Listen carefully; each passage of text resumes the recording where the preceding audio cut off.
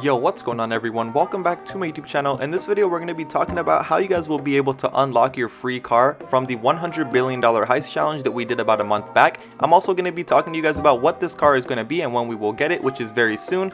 We will also be talking about when the snow update is going to come and when snow is going to come to Grand Theft Auto 5 Online, and a whole lot more. But other than all that talking guys, let's get straight into this video. If you guys are new here to my YouTube channel, make sure you guys do me a favor, hit that subscribe button. I do upload daily Grand Theft Auto 5 online videos, now that we got that all out the way, let's get into our first topic here on this video. Now the first topic we're going to be talking about is how to unlock this tee. Now a lot of people don't know that there are actually four t-shirts and jackets that you guys can unlock that are actually secret hidden in GTA. That's one of them. And this is the other one right here. Now you guys can actually unlock these very simple. To unlock the first one that I showed you, the like uh, pink and blue one, you guys actually have to do the scoping out mission in the Cayo Perico heist. Now if you guys do not know how to do that, you have to go in your submarine and do the scoping out mission. I'm pretty sure it's like the first one.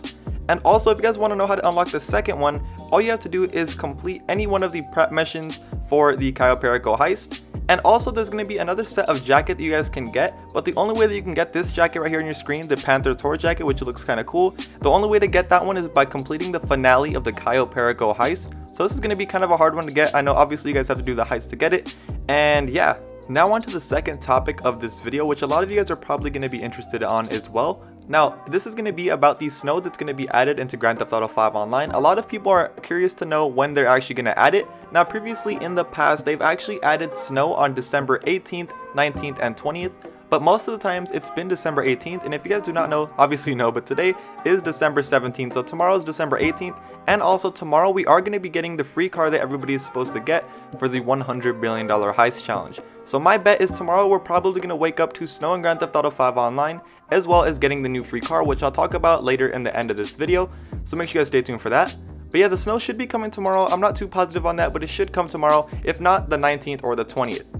Now let's get into the topic of the free car and everybody's wondering what this free car is and if we're actually to get it anytime soon.